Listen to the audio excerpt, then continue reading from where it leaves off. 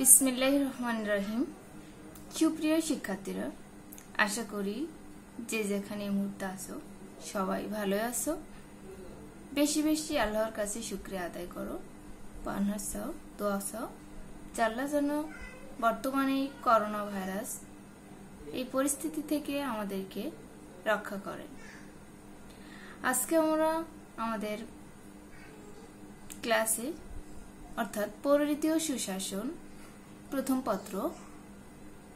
প্রথম পত্রের দশম অধ্যায়, দেশপ্রেম ও জাতীয়তা। দেশপ্রেম ও জাতীয়তা মূল টপিক্সের ভিতরে যে বিষয়গুলো আমরা আজকে পড়ব, সেই বিষয় সম্পর্কে কতগুলো প্রশ্ন এখানে ধারাবাহিকভাবে আলোচনা করতেছি।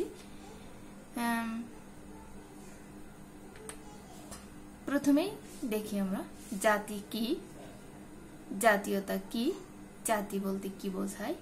জাতীয়তা বলতে কি বোঝায়? জাতি রাষ্ট্র বলতে কি বোঝায়? জাতি ও জাতীয়তার মধ্যে মূল পার্থক্যগুলো কি কি?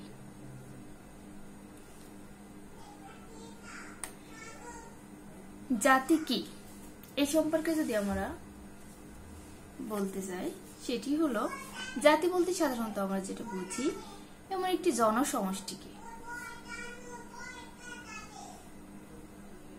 যাদের মধ্যে কতগুলো সাধারণ বিষয়ে ঐক্য লক্ষ্য করা যায়, যেমন ভাষা, সাহিত্য, ইতিহাস, ঐতিহ্য, ধর্ম, বংশ ইত্যাদি এসব ক্ষেত্রে।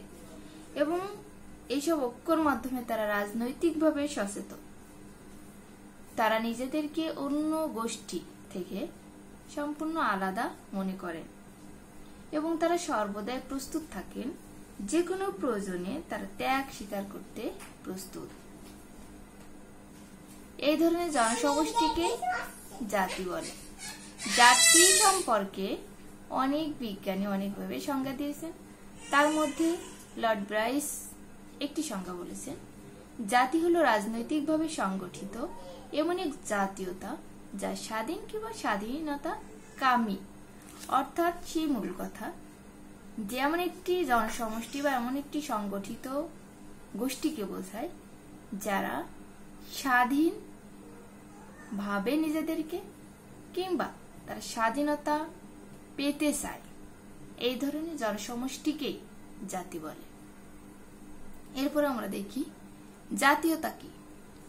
জাতীয়তা হলো এক ধরনের মানসিক অনুভূতি, মানসিক ধারণা মন থেকে ফিল করা যায়। যেমন আমি বাংলাদেশের নাগরিক, বাংলাদেশকে ভালোবাসি। এটা আমার এই চেতনা, এই অনুভূতি মন থেকে আসে। অনেক বিজ্ঞানী, অনেক অধ্যাপক জাতীয়তার সংজ্ঞা দিয়েছেন। তার মধ্যে আমরা একটি সংজ্ঞা লক্ষ্য করতে পারি। অধ্যাপক লাস্কি, তিনি কি বলছেন? তিনি বলছেন, জাতীয়তার ধারণা মূলত এক প্রকার মানসিক অবস্থা, মন থেকে। মন দিয়ে ফিল করে। এই ধরনের অনুভূতিকে জাতীয়তা বলে?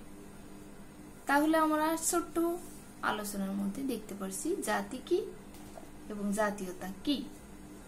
এর মূল পার্থক্যগুলো আমরা দেখি যে জাতি ও জাতীয়তার মধ্যে মূল পার্থক্যগুলো আসলে কোথায়? জাতির ইংরেজি প্রতিশব্দ নেশন জাতীয়তার ইংরেজি প্রতিশব্দ ন্যাশনালিটি দুই নম্বরে দেখতে পাচ্ছি, জাতি একটি সক্রিয় ও বাস্তব রাজনৈতিক চেতনা। সক্রিয় এবং বাস্তব।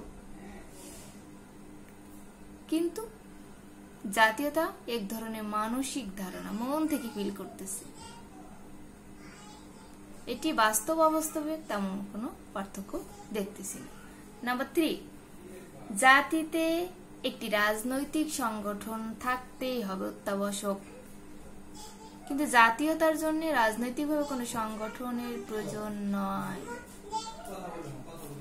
নাম্বার চার, জাতি গঠনে একটি পূর্ব শর্ত থাকে, সেটি হলো জাতীয়তা বোধ যেটা মন, মানসিক অনুভূতি। আমরা শুরুতে বলতেছি, মন থাকতে হবে। নাম্বার চার, জাতীয়তার জন্য প্রয়োজন অভিন্ন ভাষা, সংস্কৃতি এবং ইতিহাস ঐতিহ্য, মানসিক অনুভূতি। তাহলে অভিন্ন মানে কোনো পার্থক্যই নাই, ভিন্নতা নাই। একই ভাষা থাকতে পারে সংস্কৃতি, ইতিহাস, ঐতিহ্য। নাম্বার পাঁচ, এখানে দেখতে পাচ্ছি, জাতি হচ্ছে একটি পরিণত রূপ, পরিণত অবস্থা, পরিপক্ক। সেখানে জাতীয়তা হলো একটি প্রাথমিক অবস্থা। শুরু এবং শেষ, শুরুটা হচ্ছে জাতীয়তা, শেষটা হচ্ছে জাতি। তাহলে আমরা এখানে জাতীয় জাতীয়তার মধ্যে পার্থক্যের ক্ষেত্রে আমরা যদি একটি ছোট্ট উদাহরণের মাধ্যমে লক্ষ্য করতে পারি, তাহলে আমাদের বুঝতে আরও সহজ হতে পারে। সেটি হলো আমরা যখন একটি গাছ বপন করি, শুরুটা শুরুটা থাকে জাতীয়তা। এবং এই গাছটি বপন করার জন্য আমরা অনেক পরিশ্রম করি, শেষ পর্যন্ত এখান থেকে আমরা অনেক উপকৃত হয়ে থাকি। ফল, পাতা, ছায়া, গাছপালা এবং এখান থেকে কাঠও আমরা পেয়ে থাকি। তাহলে শেষ অবস্থাটা হচ্ছে জাতি এবং শুরুটা ছিল জাতীয়তা।